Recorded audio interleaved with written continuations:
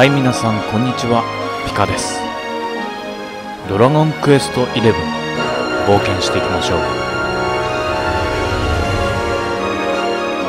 でえー、っとこっちなんだこっち行けそうか前回船とえー、加速。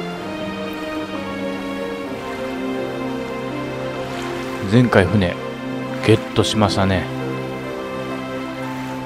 ちなんだ？あのデルタデルタなんだらネルデルタガルだったっけ？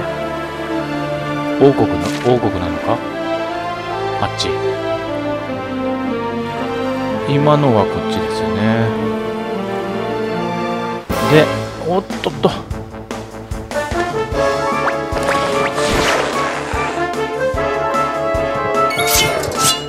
さあ海初戦闘。えー、っと。な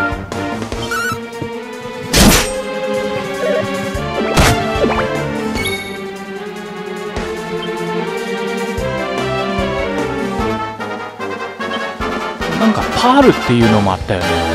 いる素材にね。誰かはいいんですねパールって真珠だよね。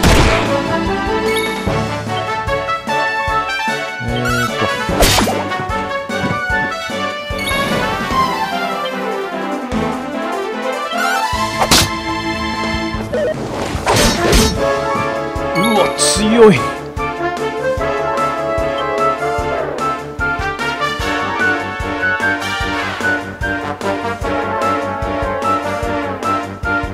強すぎる。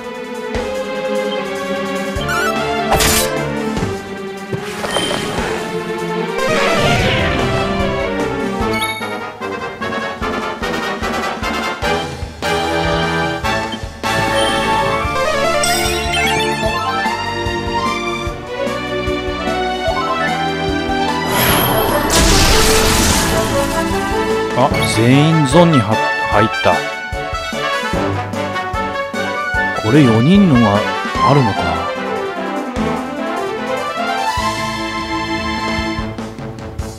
えー、っと。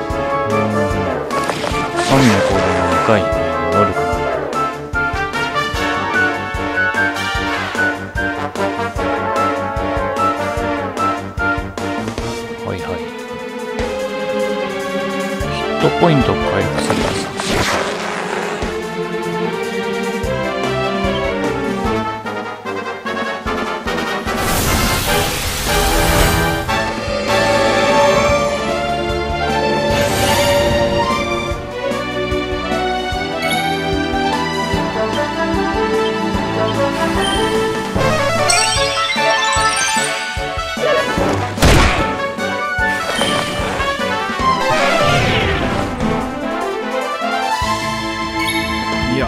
がに海は強いですな。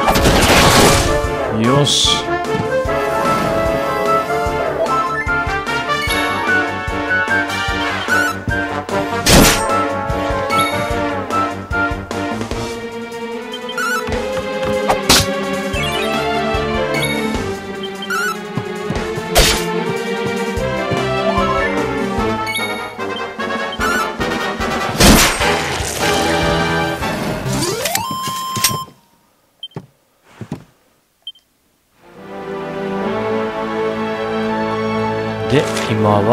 冒険ガイド。船に乗ってダーハルーネの町の北東にあるバンデルフォン地方へ向かおう。はい。それじゃ北東向かっていきましょう。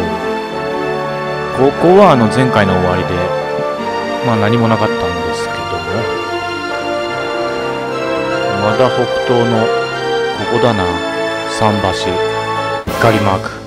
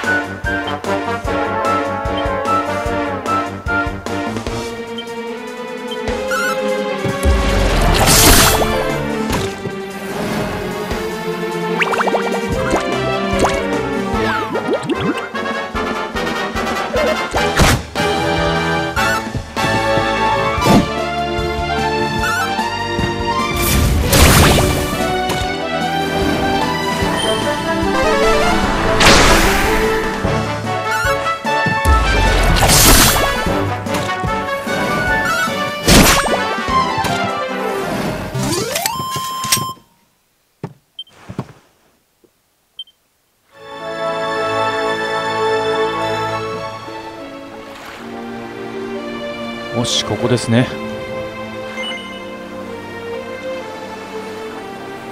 えーここでいいの？デルカコスタ地方でいかったっけ？ちょっと待って。バンデルフォン地方ですよね。これ違うな。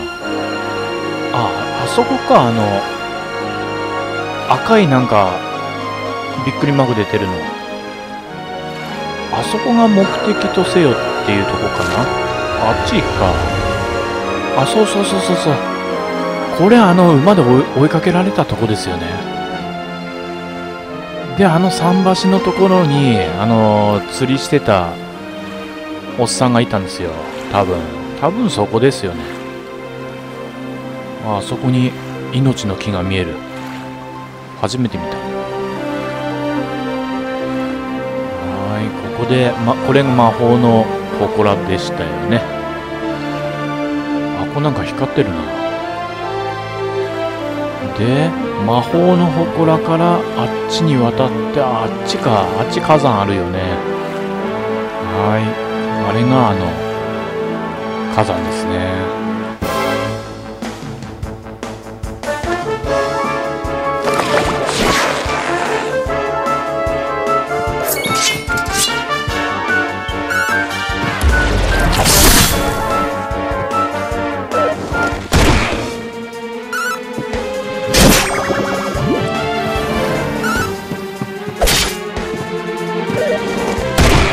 大王キッズ初めて見たぞ。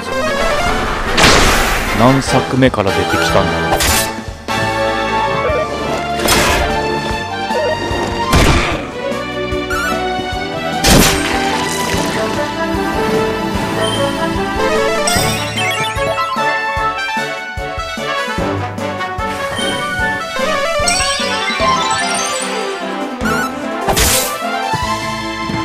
う。おしびれちゃってる。ビビリ。よし。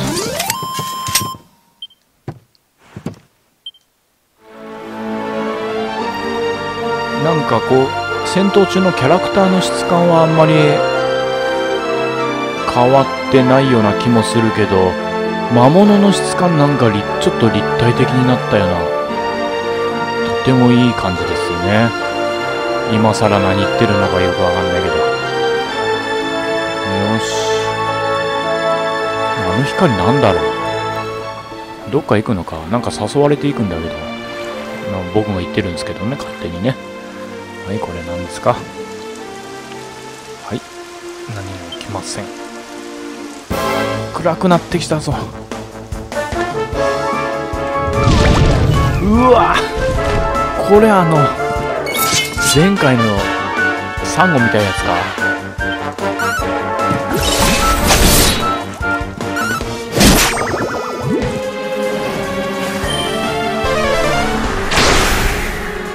あそうだシーゴーレムこんな名前だった。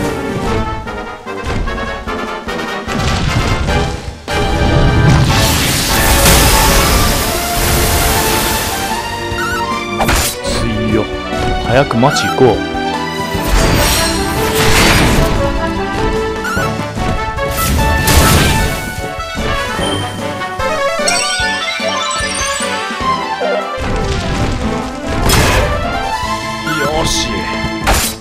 イス縦ブロック。よっしゃ。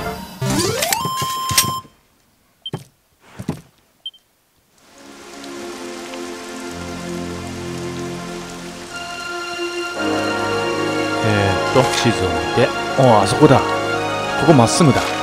あっちだ。うん雨降ってるね。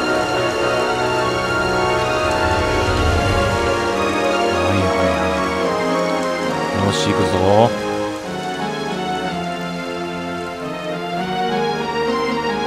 降りる。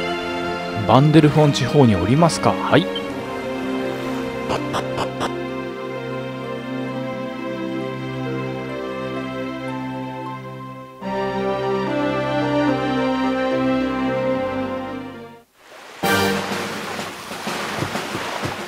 はい。第一村人発見。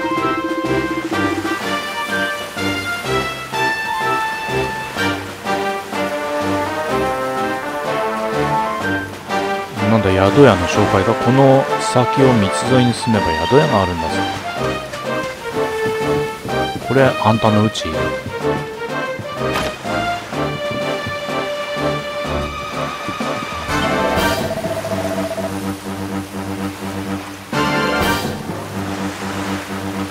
花の都と呼ばれた美しい王国があったんだ。魔物に襲われて滅びちまったけどな。今でこそこの港もひなびた様子だが当時はデルカダールのような大国との架け橋として栄えていたそうだぜ。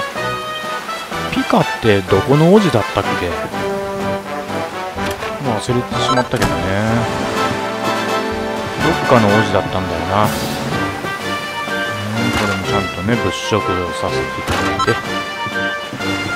ね、ごちそうさまです。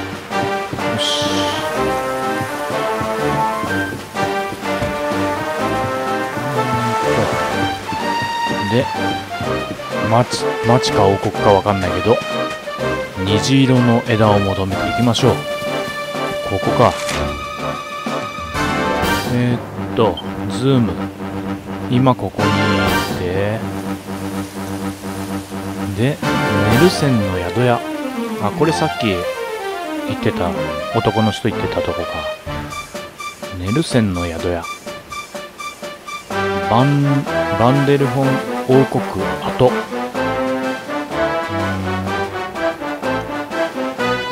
えー、魔物に襲われて滅びたってやっぱりあのオープニングのピカ逃がされた王国のことかな。バンデルフォンの王子なのかなピカって。よしまずこのここに行ってみましょうね。ネルセンの宿屋。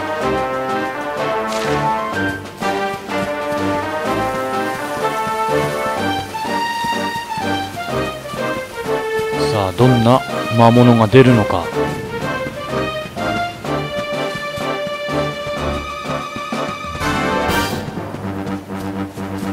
はいまたもーちゃん。うん。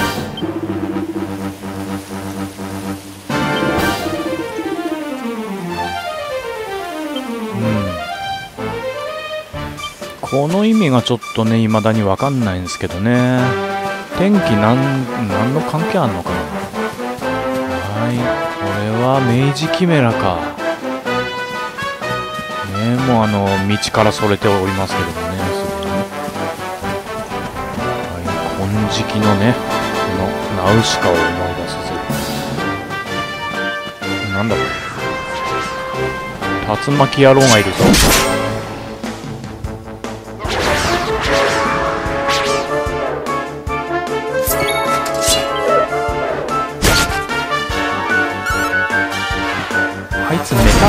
使うんじゃなかったかな明治キメラ。いやいやいやちょっと待って。ピカまでピカまであんたあれになってるぞ。コンピューターになってるぞ。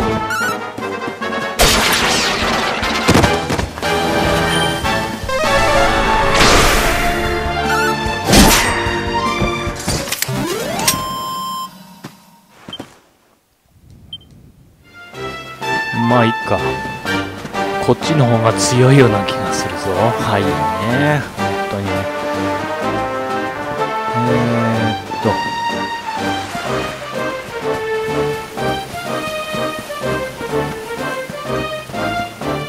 それでは道に戻ります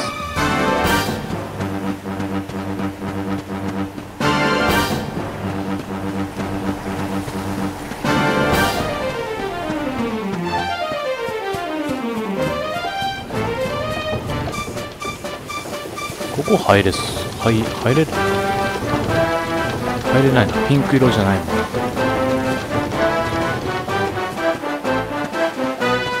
ああそこにキラーパンサーがいるんじゃないのか？あベビーパンサーじゃねえよなこれ。おいおいちょっと待て。よし。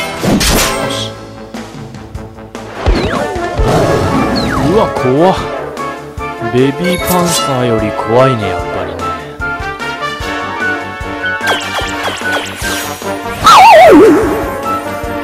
い眠っちゃってるぞお前。あお前も眠ってる。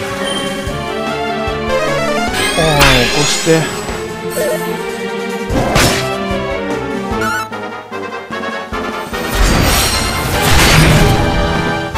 よし。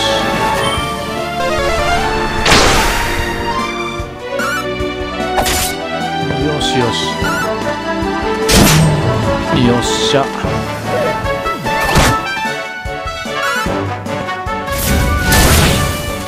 あれはなんだトマト？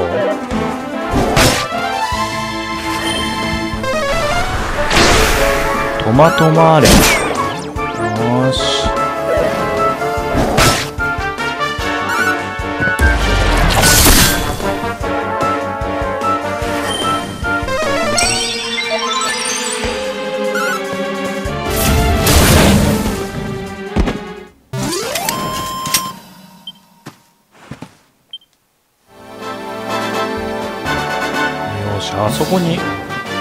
石が見える。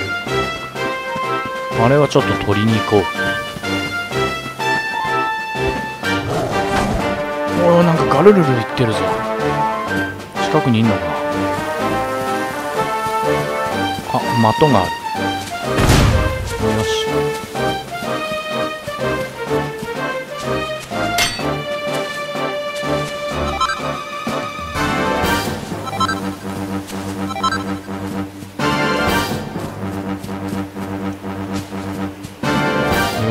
れで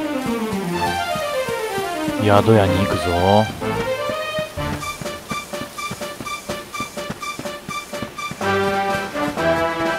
あなんかまた違うの見る。おいガルルル言ってる。えっと呪文。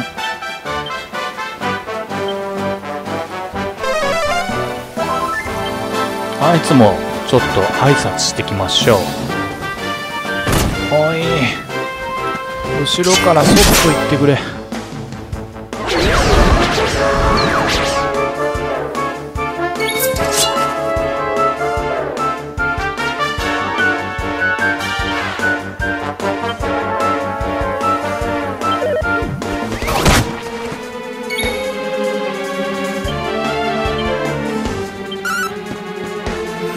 まいたちあいつなんかバミかなんか使いそうだぞ。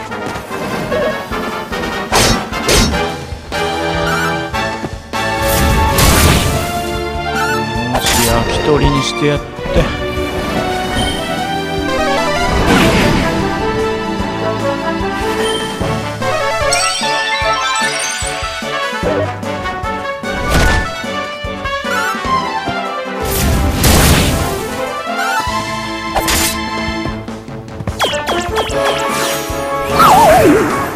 うわ眠った。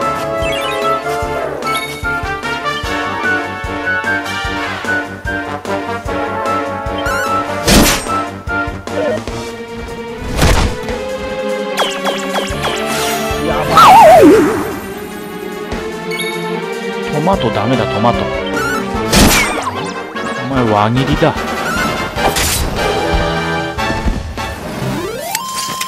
よし。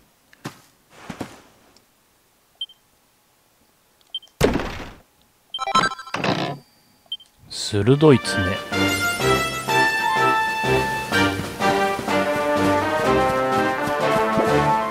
あれ？普通に入れた。これなんだ？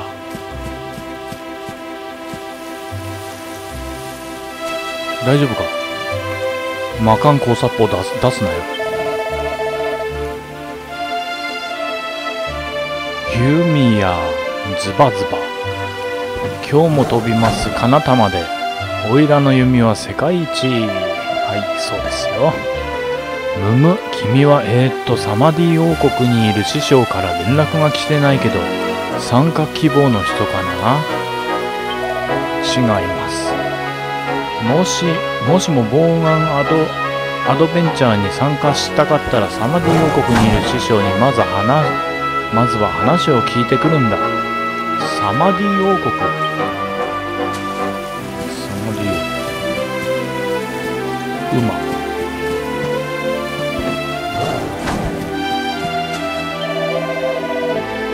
やあようこそ旅の方よ。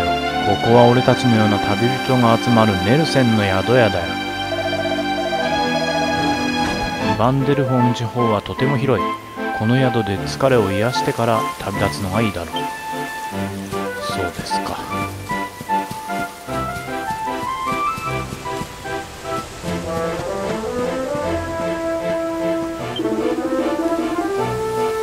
行商の途中この宿を見つけましてな。よければ売り物を分けて差し上げますよというわけでようこそ私は旅の商人でございます。はい。毒針。毒針ってあの必ず1ポイント当たるやつ。これ全員に装備させてあのメタルスライム倒してたのを思い出すぞ。魔導士の杖。鋼の槍。うん。これ槍持たせておきましょう。聖ニャに。前回すんげえ苦戦したからもう魔法トーン食らって。まあ早速まあちょっと使ってみようかな。槍のスキル全然鍛えてないけど。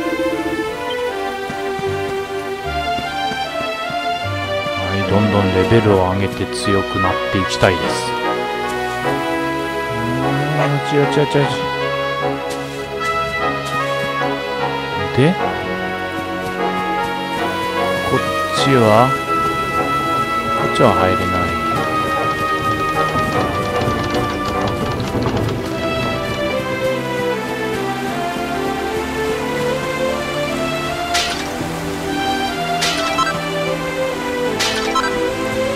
クエスト。かつてこの地にはバンデルフォンという王国がありました。4 4大国と肩を並べるほどの大国だったのです。ですが魔物の襲撃を受け国は一夜にして滅び現在では廃墟となっております。過去の栄光は見る影もありません。確かあのオープニングの城もなんか山の上に建ってたような気する。そしてこの地で亡くなった方の魂は深い悲しみから命の大樹へ帰ることなく帰るでいいのか。未だこの地にとどまっております。祖国を失った悲しみ守れなかった悲しみ深い悲しみの念によって行き場を失った魂はアンデッドマンという魔物になりました。いや人々魔物になっちゃったのかよ。アンデッドマンは夜になると現れ叶わない祖国の復興を願いこの地をさまよい続けているのです。お粗末なことです。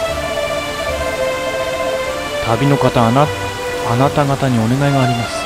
どうかアンデッドマンとなった者に安らかな安らかな眠りを与えてはくれませんか。要するに処刑しろということですよね。うん。安らぎのローブもらえる。なんか強そう。えー、っとシンプルに速度を。何匹倒せばいいの？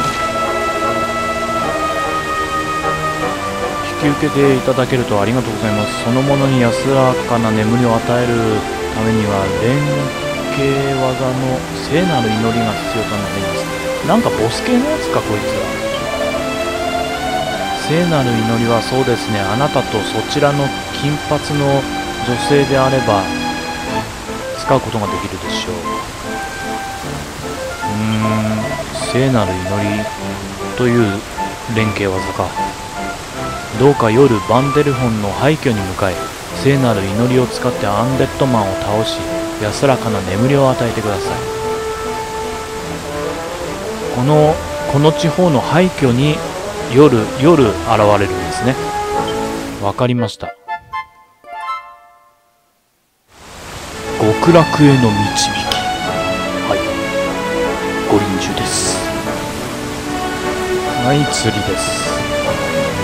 ねこの大陸にあったバンデルホン王国はデルカダール英雄グレイグ様の生まれ故郷だったらしい。はあ。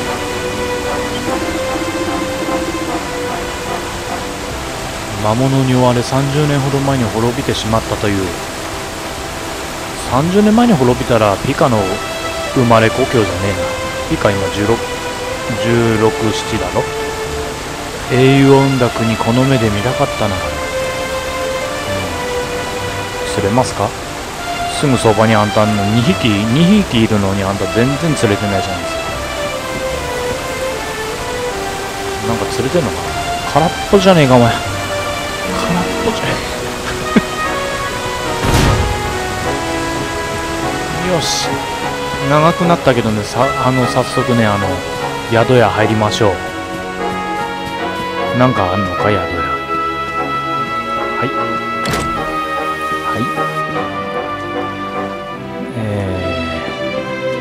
もぐもぐパパとググロッタの町に行くの。仮面武道会っていうので有名な町なんだって。グロッタか。グロッタの町はここからずっと北の方にあるってパパが言ってたの。早く行きたいな。北の方に町があるんですねグロッ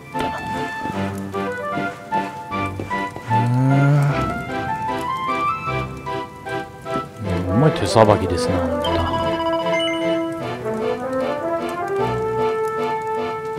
どうしてこの宿はネルセンの宿屋っていうか知ってるなんか名前みたいですね。いいえああかつて伝説の勇者様勇者様の仲間だったネルセンという名の戦士様から名前をいただいたんだよ、ね、口も合ってませんけどね本当に。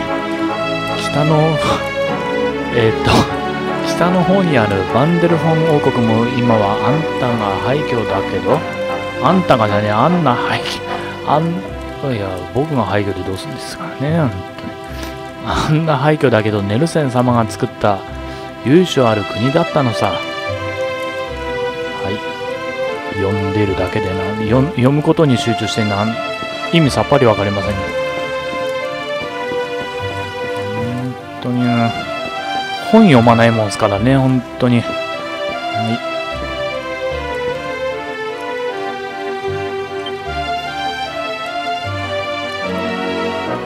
かつての大国バンデルフォンは黄金の獅子王と呼ばれた若き名君アーサーが治めていた。うん。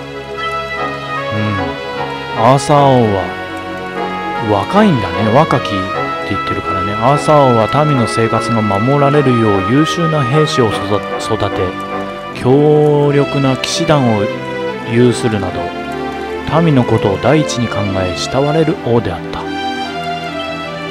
しかしその栄華は長く続かなかった。突然魔物たちが現れ王国を襲ったのだ。アーサー王は騎士団を率い立ち向かったが、えー、攻防むしく王国は滅び去った。魔物たちはバンデルフォンの軍事力を恐れ襲ったと言われているが真実真実はわからない。は、えー、儚く散った王国の跡地から今でもアーサー王の無念の声が聞こえてくるようだ。あの悲劇は決して忘れてはならない。王国の跡地からアーサー王の無念の声が聞こえてくるようだ。なんか出そうですね。ね出そうっす次の町までだいぶありますわこの宿でゆっくり休んでお祈りをしていくのが良いでしょうはい今はいいですはいはいうんと、これ普通に宿屋か。普通に宿屋か。今いいです。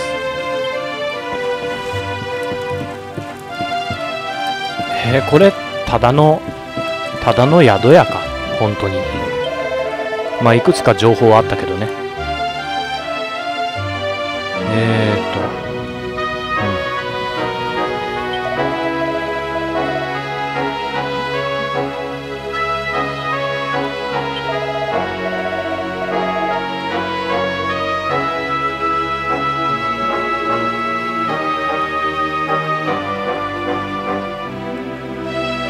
国宝のパープルオーブは今もかの地に眠っていると言われています。こにオーブあんの？早速取りに行くぞ。そんなこと言っちゃったら本当に。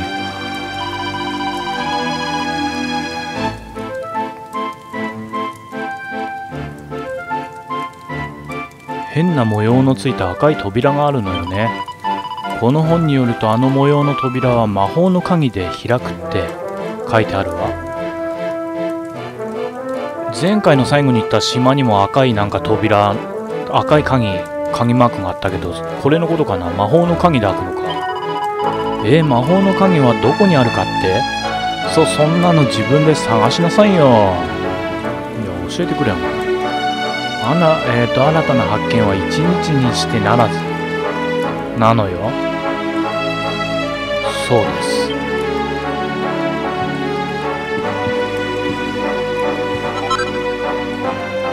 おっと。鋼武装目録。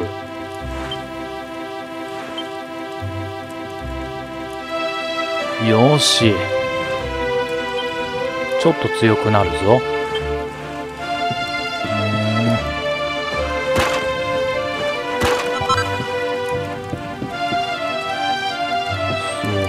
セーニャにもねあの薬草を持たせておかないとあいつ全然持ってなかったから本当えっ、ー、とホメロス戦で何もできなかったからな。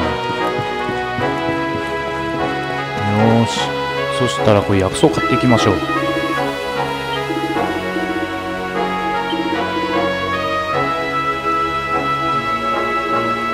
あら？こっち行ったらあのちゃんとあれもあるんだ。あの防具ね。へえへえへえへえ今までこの1ページしか見てなかったような気するな。ああこう攻撃のしかねえなって。ああなるほど。どうしようかな。こう鉄カットとか作れないしね。買っておきましょう。どうせ作れないもんな。鉄の盾。ゴールドトレイ。鉄の鎧。まあ上えー、っと。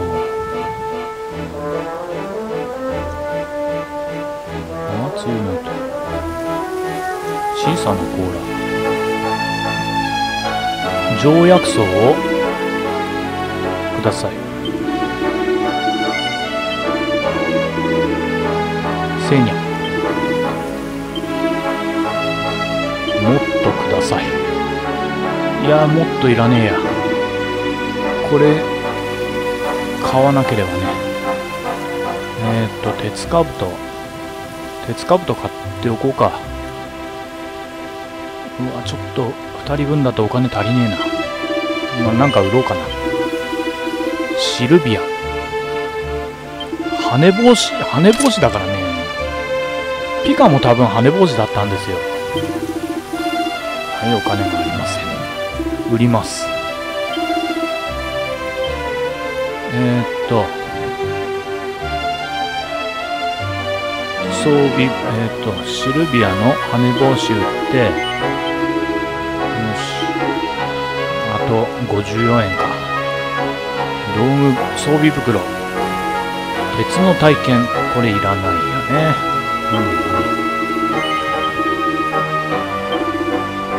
うん。鉄の体験もね。金の指輪プラス1あのあのおっさんに渡してこなければいけないね。これもいらね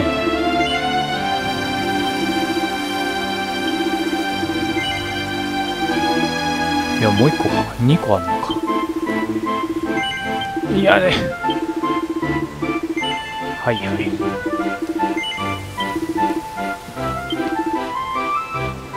金の指輪そしたらこの金の指輪ちょっとあのー、ストーリーぐちゃぐちゃになるけど渡してきましょう。ねこれね。忘れてしまわないうちに。えっ、ー、とホムラの里。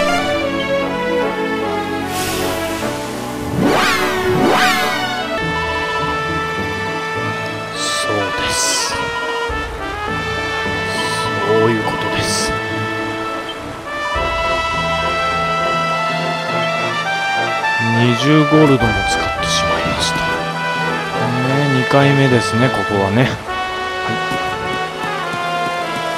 何をしてるんでしょうかね。こいつはまだいるのかお前。であのおっさんどこ行ったかな。ちょっとねちょっと分かんなくなっているんですよね。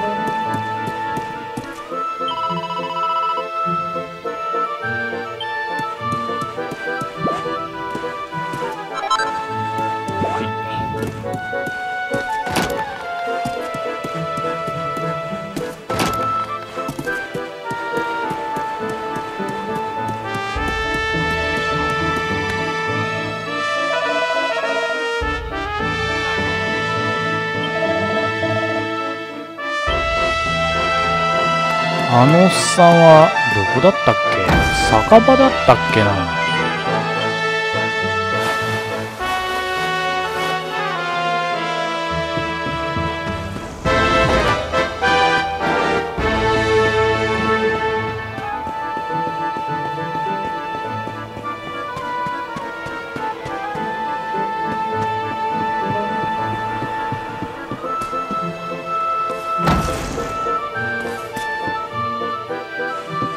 マコ。久しぶりじゃないか。あ、ルコです。ルコです。ねあんたはルコです。はい。はいはい。うん。あんたいつもここにいるのか？たまには外で遊びなさい。えーっと。あいつどこだっけな神社だっけな。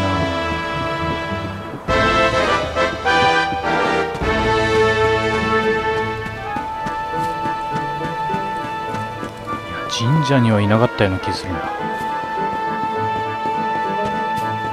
なんかあの外回りの廊下みたいなとこにいたんですよね。ここないでしょ？外回りの。あ一応あるか。あそうだそうだ。地図であのイベントのクエストの人調べればいいんだ。あ酒場かやっぱり。酒場か。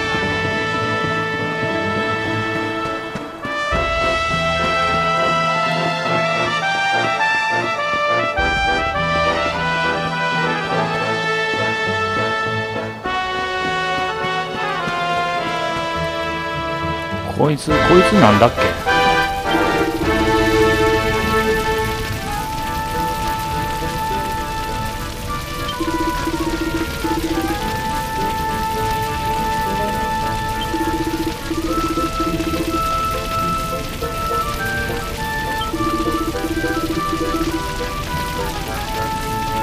鉄鉱石か。いくつか持ってたぞ。鉄製の剣のレシピ。まあ受けるか。鉄製の剣に馬使うかどうかわかんないけどな。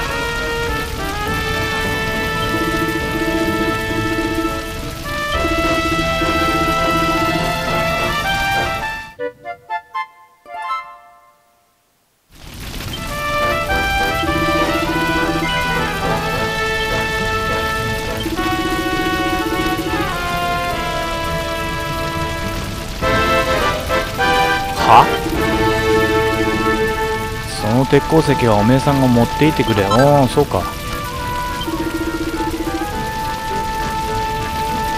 この鉄鉱石を使うレシピも持っていってくれ。いやありがとう。鉄の釣りに鉄の体験。がもういらいらねえな。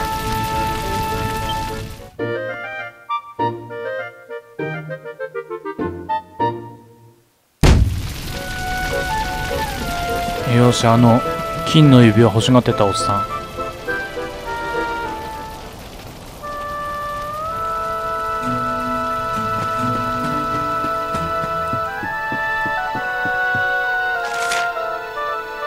酒場は左ですな。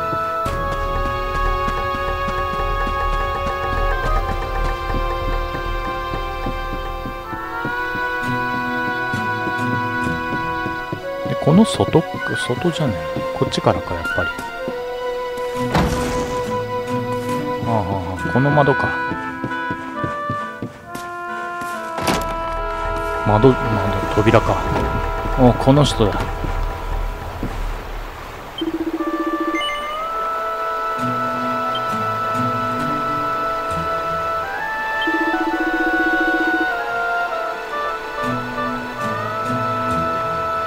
やあの2にしようか思って失敗したやつなんですけどね。うん。ロスブーメラン。ブーメラン使わないんだよな。うん。はいそれでは今回はここまでにしときます。ではまた次回お会いしましょう。